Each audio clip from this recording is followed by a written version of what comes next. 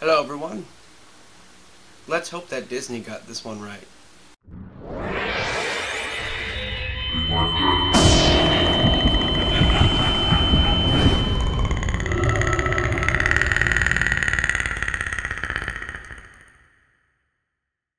This is MykeCheck95, along with another Mike Check Productions Mike Check movie review. Now, I know recently I've been putting up some top 10s of movies that I've reviewed in the past, but I figured I'd give that a little bit of a pause and release this movie review since it just came out Friday, which the release date for this video will be Monday, today.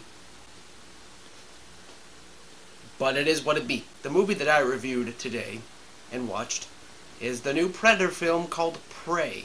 The first Predator film under the Disney name. Let's hope and pray that this film was good. Critics rate this film a 9.2 out of 10, and audiences rate this film an 8.3 out of 10. There are no budget or box office numbers because this is an extreme exclusive film, which is very interesting because one of my comments on this movie is that this is the very first Predator film that is stream ex exclusive. I'll get into that in a little bit. But before I continue on with my thoughts on the movie, if you enjoyed this review and any other content I've put out in the past or anything that's coming out in the future that you may like, like, share, subscribe, join the madness. The Discord link is down below. Click on it, say hi, share your thoughts, give me some ideas. Go for it. We are a variety channel. We're up for anything. Pros, cons, and comments of Prey. Comments first. Uh, there is no connection to the 2018 Predator film in this movie, which is a good thing because Predator 2018 is probably one of the most atrocious Predator films I have ever watched. This film took about four years to be worked on. Some of that may have to do with the fact that with like COVID going on and everything, and that there was also a rights lawsuit between the original writers of Predator from 1987 and Disney's uh, 20th Century Studios. Possibly put it on hold for about a year. I didn't really look too far into details when it came to that, but it halted production for a little bit. But obviously they came out with a, a new deal, and the film came out. As you can see that lovely little face, or big face, behind me. An interesting fact about this film is that when uh, movie producers um, put out movies, they don't put the official title of the movie on the script just so that it won't leak out or anything to kind of keep it hidden from the, uh, the crowd. The working title for this film was Skull. The director wanted to also kind of approach this film trying to kind of go back to how the first film looked, keeping it in the jungle and the uh, nature-like environment. So they tried to replicate the same scenery feel as the first film, which I will get into that when I get into my pros. And also, this is possibly the first Predator that is sent to Earth. One of my cons I kind of want to point out is uh, kind of the fact that this film is stream ex exclusive. It kind of depends on how you look at it because this film, when I watch it, it's free on Hulu, surprisingly. And, like, it's easier to access when you're at home and watching it. Like, I just watched it just now but at the same time it takes away that that movie theater that theatrical like feel to it where you're enjoying it at a movie theater i for one kind of prefer new movies in a movie theater like uh, setting but at the same time i get with the new branching of ideas where people not really want to go out as much. And the uh, other con that I have uh, is that the Native Americans were fluent in English. I kind of get it to kind of get the narrative across. I kind of feel like this film is still retold through another uh, person that was that, that translated it. I kind of feel like that's what was going on with this movie. But at the same time, you just be stuck reading subtitles the whole movie. Like I almost did turn on subtitles, but I decided not to. There's like a whole section where there's like a, a camp of like French um, people who are like invading the area and kind of like growing and learning the lands and whatnot, and they strictly speak French, except for one person who's a translator, or just knows multiple languages. Kind of weird that the Native Americans had that fluent of the uh, English language. But again, got to push the narrative forward somehow. I enjoyed that they tried to replicate the scenery feel when it came to the first film because this film felt like a breath of fresh air the entire time and it just it was beautiful to look at and it felt like a thriller sci-fi horror action film all the, pretty much the entire time and it was like the perfect environment for this movie and that is that's a big plus. I want to say that some of the Predator fans are getting a little tired of like Predators fighting in the city and everything. They kind of go back and forth with how these movies movies have gone so far. In my opinion, every single one that has a jungle-like feel to it has done a little bit better, or vastly better, when you compare the two that have been in the cities, than those two films. Just by scenery itself. I liked how they were like keeping the customs of like Native Americans, kind of like when they see something like weird or strange or like some odd happenings going around, they kind of viewed it as like challenges for for themselves or for the tribe, or like they viewed it like gods or like demons and stuff like that. Like they uh, kept they they called the predator ship the Thunderbird, and they the main character viewed that as like a challenge to become like a hunter and everything. And just the fact that they used Native Americans in this film and it's just set back in 1719, so many years later, uh, before the uh, first four films, it's just it's again a breath of fresh air. It's a new idea. It feels like, even though it's kind of copy and paste of the first film, but it feels new, and I like it. For a uh, streaming exclusive film, you could tell what was CGI'd and what wasn't, but it wasn't like an eyesore. It wasn't horrible to look at it honestly looked really good. Anything involving the tribal predator, that's what I'm just going to call him, looked great when it came to doing CGI effects. And the look of the predator just looked fantastic. It was very different from the other ones with like the um, the the skeletal structure of its head and the way that its head was shaped to like the helmet it looked like uh, an actual skull of an actual creature but it looked like they built in their uh, gadgets and their like their thermal imaging vision inside the skull. I thought that was really cool. Again, a lot of new stuff that is shown in this film, and some callbacks to the old to the older ones. Keeping the theme of predator and prey, it kind of went back and forth on showing like like the animals of the uh, area. Showed like a uh, like a, a rat killing an ant, and then a snake killing the rat and then the predator killing the snake, and then it showed like a wolf chasing after a uh, a rabbit, and then the predator killed it, kind of saying, "Hey, I'm the top of the food chain."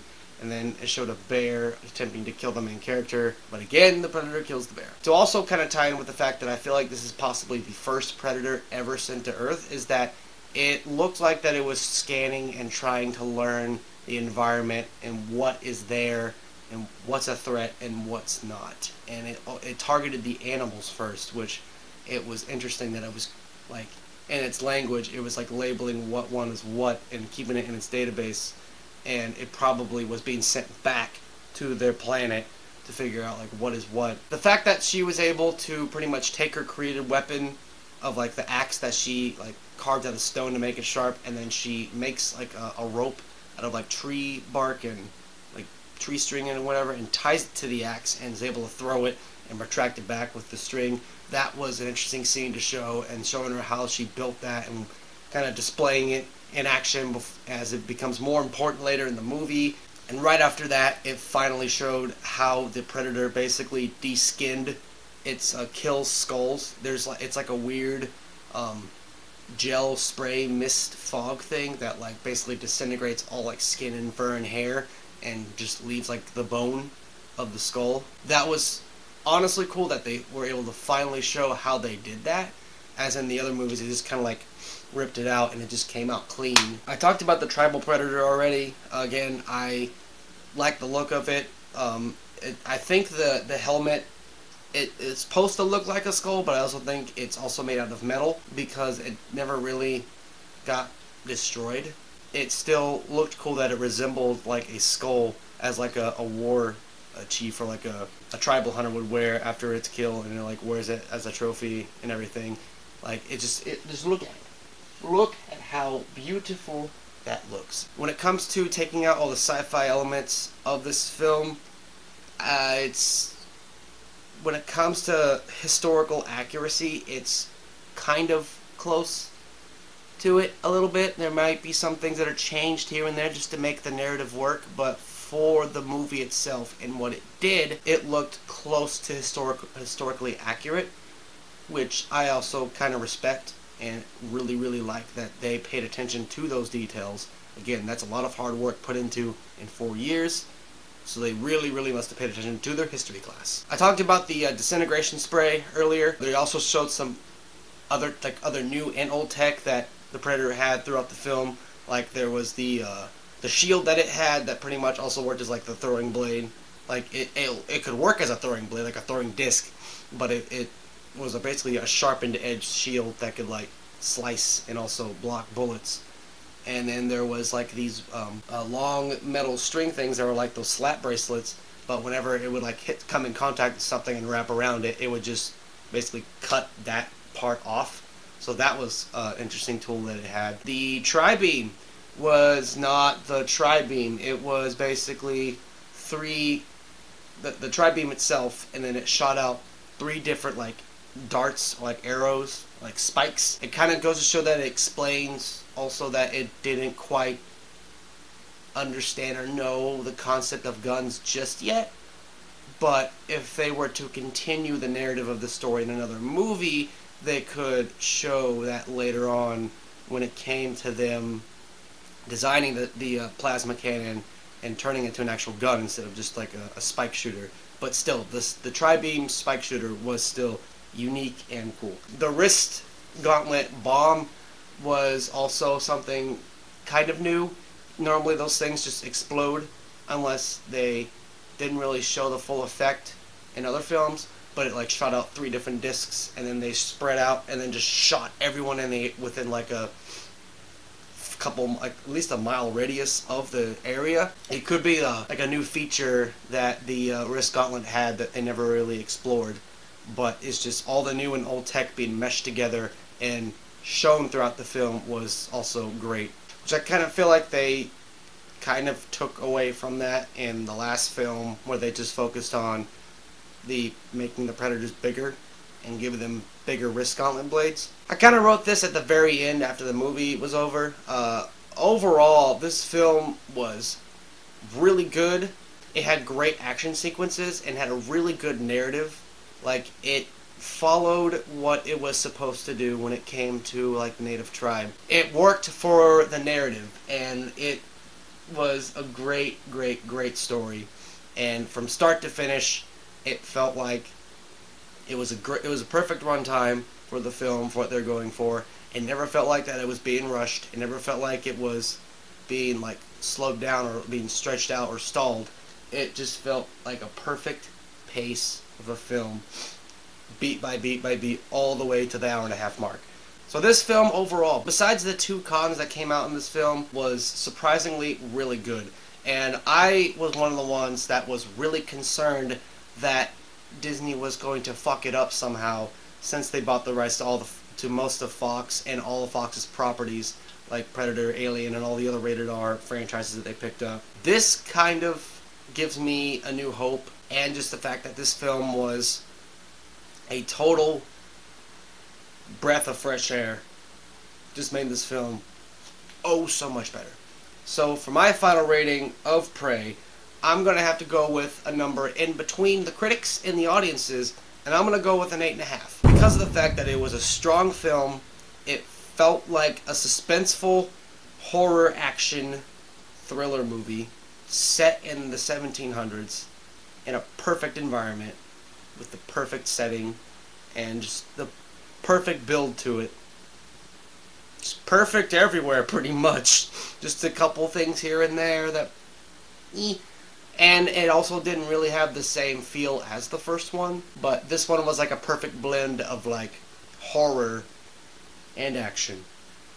So eight and a half for me. And I will be adding this to my Predator playlist. Quick ranking this film probably gets put in the second spot. So I'd go the original Predator Prey Predator 3 Predator 2 Predator 2018 so there you have it that is MykeCheck95 with another Mike Check Productions Mike Check movie review. we're going to be going back to our regular scheduled programming with my last three top 10 lists, and then we're going to pick right back up with a movie review that I recorded about a month ago and that I haven't edited yet. That's going to be the review of Small Soldiers, and then there'll be some new content coming your way. But until then, this is MykeCheck95, signing out.